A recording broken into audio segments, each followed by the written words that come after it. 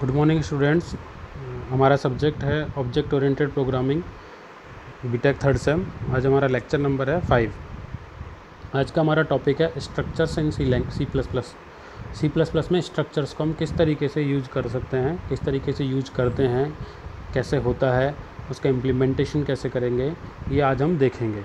वैसे बेसिकली आप जो स्ट्रक्चर है, उसको आप पिछले साल जो फ़र्स्ट सेमेस्टर या सेकेंड सेम में आप इसको पढ़ चुके हैं कि सी में जो स्ट्रक्चर हो, किस तरीके से काम में आता है। और वैसा ही सेम सी प्लस प्लस में भी काम आता है। उसका पूरा जो फंडा है, उसका पूरा जो सिस्टम है काम करने का, पूरा ऐसा ही है। उसकी पूरी टेक्निक भी बिल्कुल सेम है। बस यहाँ पे क्या होता है कि सी सी प्लस प्लस के अंदर उसको प्रिंट लेना और उसको प्रिंट करना और उसके अंदर जो वैल्यूज़ देने का जो सिस्टम है, वो थोड़ा चेंज होता है। बाकी सी और सी प्लस प्लस में स्ट्रक्चर्स का जो खुद का मेथड है, तरीका है, वो सेम होता है। बात करते हैं डिटेल में जाते हैं, थोड़ा रिवीजन भी हो जाएगा इससे आपका, कि इस तरीके से स्ट्रक्चर जो होता है कि जैसा कि आप पहले ही जानते हैं कि स्ट्रक्चर क्या होता है यूज़र डिफाइंड डेटा टाइप होता है। अब आप बोलेंगे यूज़र डिफाइंड डेटा टाइप क्या होता है, कि डेटा टाइप्स जो होते हैं जनरली दो तरीके के होते हैं। एक तो जो प्री डिफाइंड डेटा टाइप्स होते हैं और दूसरा होता है user defined predefined data type में हमारे जैसे इंटीजर आता है फ्लोट आता है करेक्टर आता है, ये सारे जो डेटा टाइप्स हैं, ये प्री डिफाइंड डेटा टाइप्स होते हैं। और जो यूज़र डिफाइंड जैसे एरे है स्ट्रक्चर है यूनियन है, ये सारे किसमें आते हैं? यूज़र डिफाइंड डेटा टाइप्स के अंदर आते हैं। जैसे सी प्लस प्लस में तो क्लास वगैरह भी होती है, वो भी यूज़र डिफाइंड डेटा टाइप्स के अंदर ही आती हैं। इनको यूज़र डिफाइंड डेटा टाइप्स क्यों कहते हैं? क्योंकि इनका नेम वगैरह सब हम डिसाइड करते हैं और इसके अंदर जो डिफरेंट डिफरेंट जो जो पुराने वाले डेटा टाइप्स हैं उनको यूज़ में लेते हुए हम आगे काम करते हैं। तो इसलिए ये क्या कहलाता है? यूज़र डिफाइंड डेटा टाइप कहलाता है। स्ट्रक्चर जो होता है structure also use to present record records को रिप्रेजेंट करने के काम में लेते हैं। जैसे अगर एग्ज़ाम्पल के हम देखें कि सपोज़ अगर हम किसी बुक्स जो लाइब्रेरी होती है, उनका अगर रिकॉर्ड रखना चाहें तो हम क्या क्या हमको क्या क्या चीज़ चाहिए होंगी? उनका टाइटल भी चाहिए होता है ऑथर भी चाहिए होता है सब्जेक्ट भी चाहिए होता है और बुक आईडी भी चाहिए होती है। हमें ये चीज़ें रिकॉर्ड रखनी पड़ सकती हैं।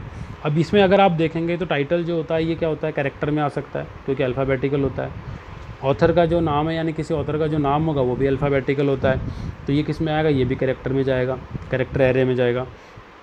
सब्जेक्ट है, वो भी कैरेक्टर के अंदर जाएगा कैरेक्टर एरिया स्ट्रिंग के अंदर जाएगा।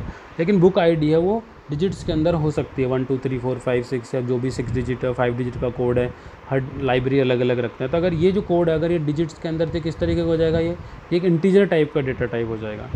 तो क्या हुआ? ये डिफरेंट डिफरेंट डेटा टाइप्स हैं। ये ये अलग जो है इंटीजर टाइप का है।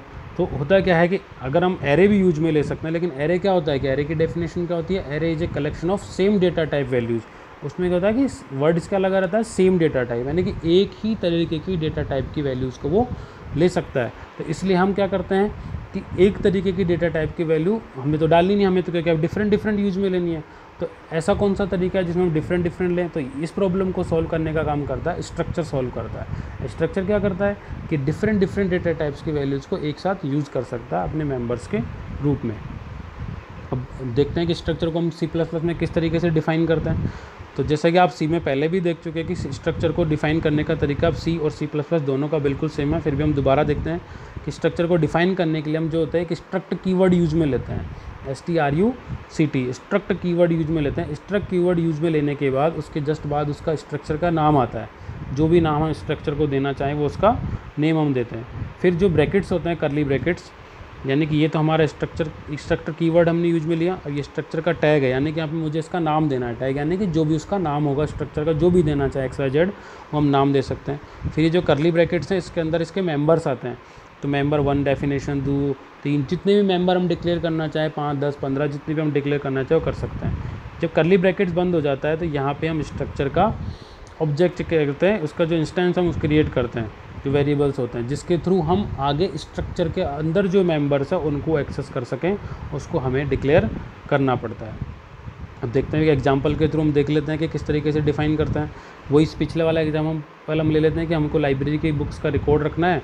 तो उसके जो हमारे जो चार पाँच जो हमने बनाए थे, चार टाइटल ऑथर और सब्जेक्ट और बुक आईडी उसको हम यहाँ पे यूज़ में लेते हैं कि किस तरीके से हम डिक्लेयर करेंगे। तो ये हमारा स्ट्रक कीवर्ड हो गया। हमने इसका नाम दे दिया बुक्स जो स्ट्रक्चर हमने डिक्लेयर का नाम दे दिया बुक्स ये हमारा करली ब्रैकेट स्टार्टिंग ब्रैकेट आ गया। हमने क्या किया? एक कैरेक्टर एरे बनाया टाइटल नाम से। जैसे मैंने पहले बोला था कि एरे बनेगा तो कैरेक्टर एरे बनाया। फिर दूसरे ऑथर को भी कैरेक्टर एरे बनाया।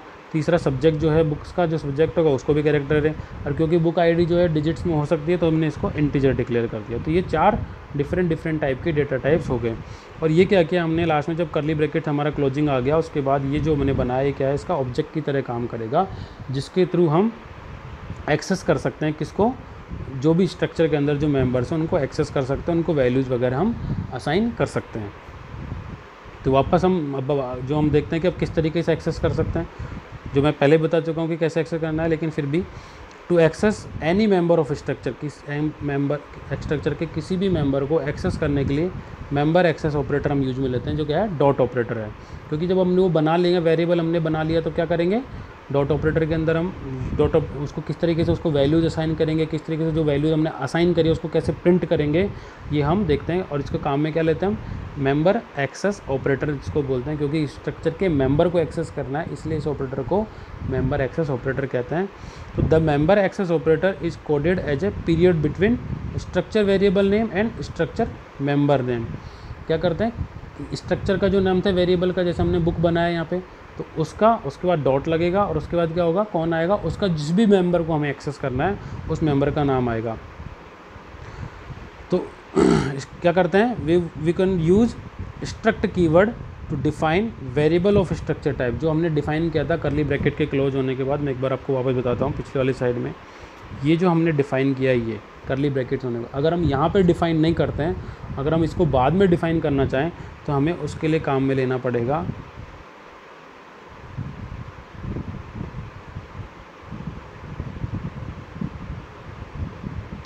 स्ट्रक्ट कीवर्ड और यहाँ पे फिर उसके बाद हम ले सकते हैं स्ट्रक्ट जो भी हमारा नाम था बुक्स और इसके जस्ट बाद हम उसका डिक्लेयर कर सकते हैं, जैसे बी वन बी टू इस तरीके से हम डिक्लेयर कर सकते हैं यहाँ पे, ठीक है? हम आते हैं हमारी करंट स्लाइड पे। तो जो भी इसका जो एग्ज़ाम्पल है, किस तरीके से एक्सेस कर सकते हैं, उसको हम एक एग्ज़ाम्पल के थ्रू समझते हैं, जो एग्ज़ाम्पल हमारा नेक्स्ट स्लाइड में है। ये किस तरीके से हम वैल्यू असाइन करेंगे और किस तरह से उसको प्रिंट करेंगे, ये इसके अंदर आएगा इस एग्ज़ाम्पल के। सबसे पहले हम एडर फ़ाइल इंक्लूड कर दी हमने आई स्ट्रीम डॉट एच कर दी और स्ट्रिंग डॉट एच कर दी। S T D I O dot H भी कर सकते हैं और कॉनियो डॉट एच भी इसके अंदर हम इंक्लूड कर सकते हैं। अगर हम उनके कोई जो फ़ंक्शंस है प्री डिफाइंड लाइब्रेरी फ़ंक्शंस अगर उनको यूज़ करते हैं तो हम उनको भी डिफ़ाइन कर सकते हैं यहाँ पे। अब हम बात करते हैं नेम स्पेस हमने यूज़ में ले लिया स्टडी हमने ये स्ट्रक्चर डिक्लेयर कर दिया स्ट्रक्ट कीवर्ड यूज़ में लिया और ये बुक्स नाम से उसका नाम रख दिया स्ट्रक्चर इसके ये क्या ये क्या कहलाएँगे चारों? इसके मेंबर कहलाएँगे। एक, तीन तो कैरेक्टर हैं और चौथा इंटीजर टाइप का है। हमने देखो, पिछले जो, जैसे हमने एग्जांपल में वहाँ पे यूज़ में किया था, हमने यहाँ पे डिक्लेयर नहीं किया है। जो स्ट्रक्चर का जो वेरिएबल है, उसको हमने यहाँ पे डिक्लेयर नहीं किया। हम कहाँ पे डिक्लेयर करेंगे? इसको मेन फ़ंक्शन के अंदर। तो हमारा मेन फ़ंक्शन शुरू हुआ कि इसका स्टार्टिंग कर ली ब्रेकेट है मेन फ़ंक्शन का। ये देखिए, यहाँ पे हम डिक्लेयर कर रहे हैं, क्या कर रहे हैं? स्ट्रक्चर का वेरिएबल डिक्लेयर कर रहे हैं पहला। स्ट्रक बुक बुक वन यानी कि एक वेरिएबल हमने डिक्लेयर कर लिया। अब हम दूसरा भी डिक्लेयर कर देते हैं यहाँ पे। स्ट्रक्ट बुक बुक टू हमने दूसरा वेरिएबल डिक्लेयर कर दिया।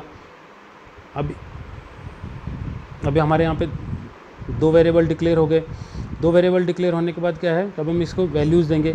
तो पहले बुक वाले के, पहले देंगे कि कैसे करें? तो हमने कौन सा फ़ंक्शन काम में लिया? स्ट्रिंग कॉपी जिसके लिए हमने कौन सी एडर फ़ाइल काम में ली थी? स्ट्रिंग डॉच है तो स्ट्रिंग कॉपी किसके अंदर? बुक वन यानी कि हमने क्या, हमारा जो क्या था? मेंबर एक्सेस ऑपरेटर था कौन सा था? डॉट ऑपरेटर देखिए आप देख रहे हैं यहाँ पे ये डॉट ऑपरेटर हम काम में ले रहे हैं इस जगह। तो ये हमारा book one dot book one dot title तो बुक वन डॉट टाइटल यहाँ पे अब टाइटल कर दिया, उसके अंदर असाइन कर देंगे। Learn C plus plus programming. दूसरा हमने कर दिया किसमें? स्ट्रिंग कॉपी फिर से ऑथर के अंदर डाल देंगे। तीसरा इसी तरीके से सब्जेक्ट के अंदर डाल देंगे सी प्लस प्रोग्राम और चौथा book one dot book ID हम ये आईडी इसके अंदर इंसर्ट कर देंगे। फिर उसके बाद हमारा आता है दूसरे वाला जो हमने वेरिएबल बनाया तो उसमें कैसे वैल्यू डालेंगे तो उसमें भी सेम तरीके से स्ट्रिंग कॉपी फ़ंक्शन काम में लेंगे और ये चारों वैल्यूज़ हम इसके अंदर असाइन कर देंगे। अब हमारे बात आता है कि सी प्लस प्लस के अंदर हम उसको एक्सेस कैसे करेंगे? एक्सेस करने के लिए हम क्या काम में ले सकते हैं? सी आउट फ़ंक्शन काम में लेते हैं सी प्लस प्लस में। तो ये क्या करेगा? सी आउट और इसको वापस से, जैसे कि वो डॉट जो ऑपरेटर था, हमारा डॉट ऑपरेटर मेंबर एक्सेस में जो ऑपरेटर था, उसको काम में लेंगे। एंडल क्या करता है? हमारा सी प्लस प्लस में न्यू लाइन देता है।